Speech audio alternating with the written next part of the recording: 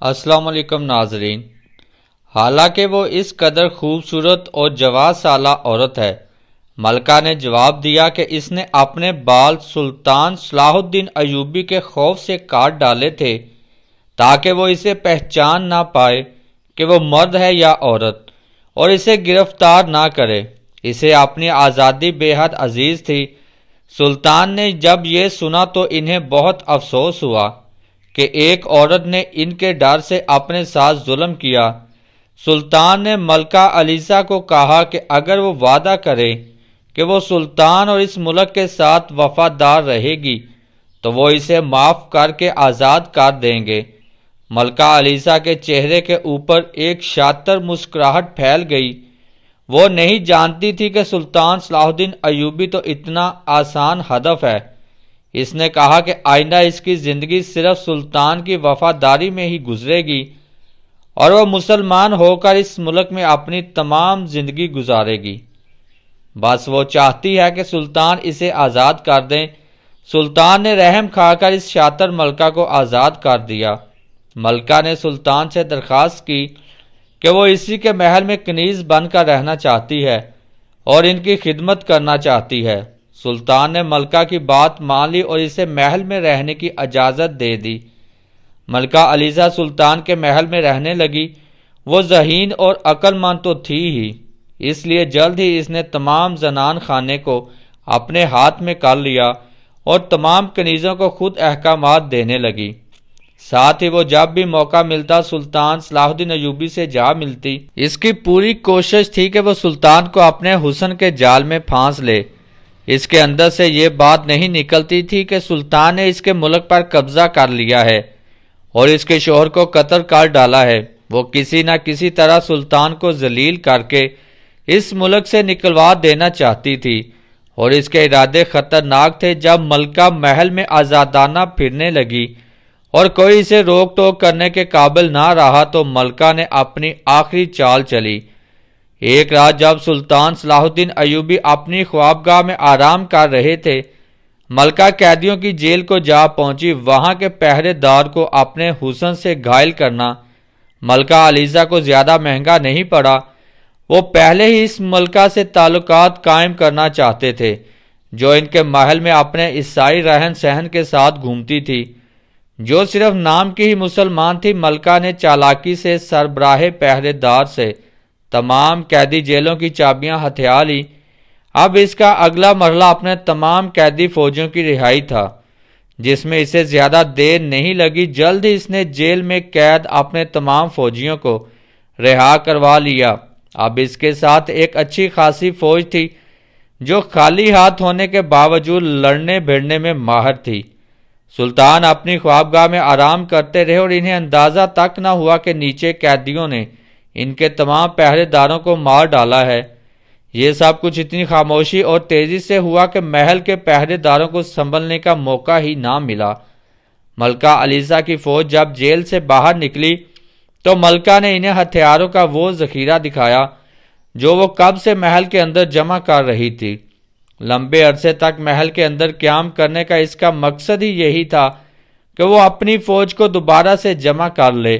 اور آج وہ اس میں کامیاب ہو گئی تھی۔ قیدیوں نے ایک لمحے کی تاخیر کیے بغیر تلواریں اور گز اٹھا لیے اور اب ان کا اگلا نشانہ سلطان تھے۔ وہ ان کا قتل کر کے اپنا ملک واپس حاصل کرنا چاہتے تھے۔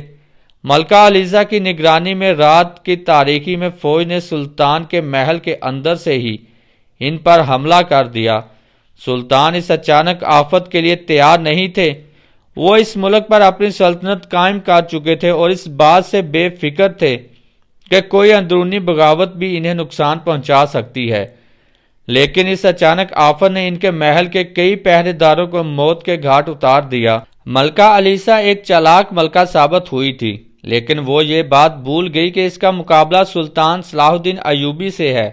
جو کوئی عام انسان نہیں تھے، حملے کے آغاز سلطان کی کچی نیند ٹوٹ گئی تھی اور وہ جان گئے تھے کہ محل میں کسی گڑبڑ کا خدشہ ہے۔ ہر اچھے شہنشاہ کی طرح سلطان صلاح الدین ایوبی نے بھی اپنی ایک مخصوص فوج کو چھپا رکھا تھا، جس سے ملکہ علیزہ نا واقف تھی۔ سلطان نے ایک لمحے کی تاخیر کیے بغیر محل کے نچلی سطح پر موجود اپنی دوسری فوج کو حکم دیا۔ کہ وہ محل کا گراؤ کر لے، یہ تازہ دم اور جوان فوجی یک دم سامنے آئے اور ملکہ علیزہ کے عرصہ دراز سے قیدی فوجیوں سے لڑنے لگے۔ انہیں سے چاند ہی لمحار لگے اور انہوں نے ملکہ علیزہ کی فوج کا خاتمہ کر دیا۔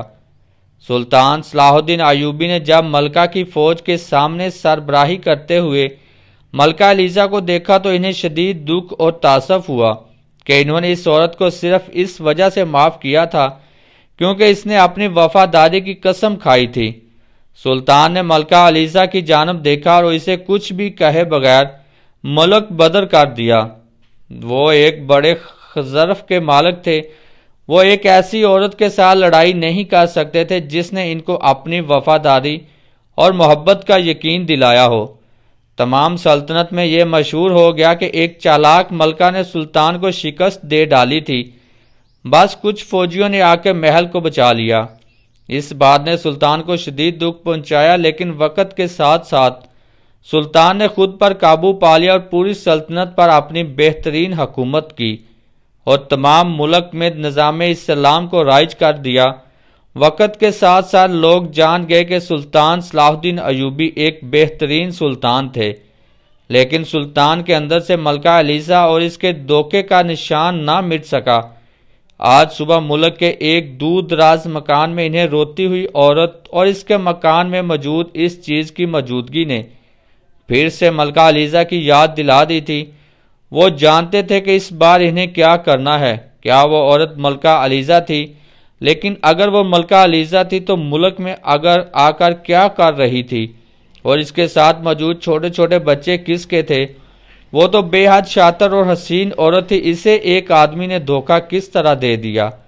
آخر وہ عورت کون تھی؟ اس کے گھر میں موجود وہ چیز کیا تھی؟ سلطان صلاح الدین ایوبی نے ٹھان لی تھی کہ وہ اب اس راز سے پردہ اٹھا کر رہیں گے۔ اگلی صبح سلطان نے اپنے خاص امور نپٹانے کے بعد وزیر اور سپاہیوں کو حکم دیا کہ فلاں مکان سے اس عورت کو گرفتار کر کے لے آیا جائے۔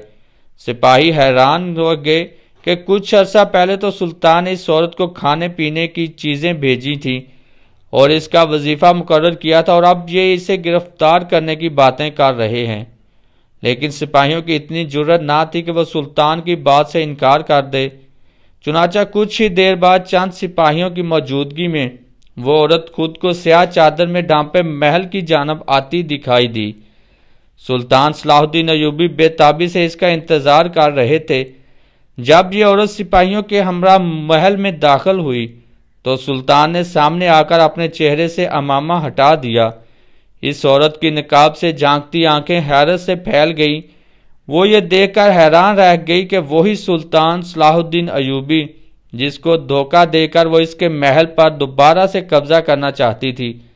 آج پھر سے اس کے سامنے کھڑا ہے۔ یہ چادر میں لپٹی ہوئی بے حال عورت، وہی ملکہ علیزہ تھی۔ جس کے حسن اور ذہانت کے چرچے اس محل کی دیواروں میں آج بھی گونجا کرتے تھے۔ جس نے سلطان صلاح الدین ایوبی کو بس شکست دے ہی ڈالی تھی، وہی عورت آج مجروح حال میں سلطان صلاح الدین ایوبی کے سامنے کھڑی تھی۔ ملکہ علیزہ نے جب سلطان کو اپنے سامنے کھڑا دیکھا تو اس کے قدم لڑ کھڑا گئے۔ وہ گھبرائی ہوئی آواز میں بولی، اے سلطان، آپ، میں نہیں جانتی تھی کہ اس سلطنت کی حکومت آپ ہیں۔